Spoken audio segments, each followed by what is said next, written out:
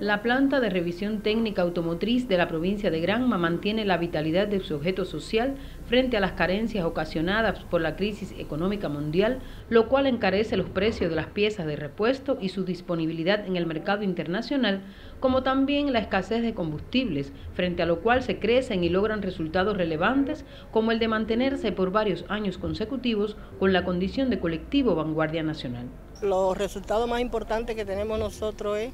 la noble tarea con la que trabajamos, que es la de salvar vidas.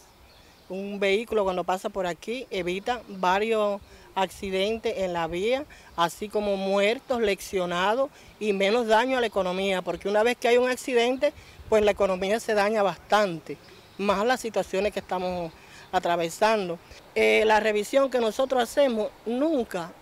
hemos eh, paralizado las actividades, incluso ni cuando la COVID estaba en sus momentos más difíciles, siempre estos trabajadores, porque los represento yo, pero ellos son unos trabajadores que marchan al frente en cualquier tarea, por muy difícil que sea, siempre que sea en aras de que haya un mejor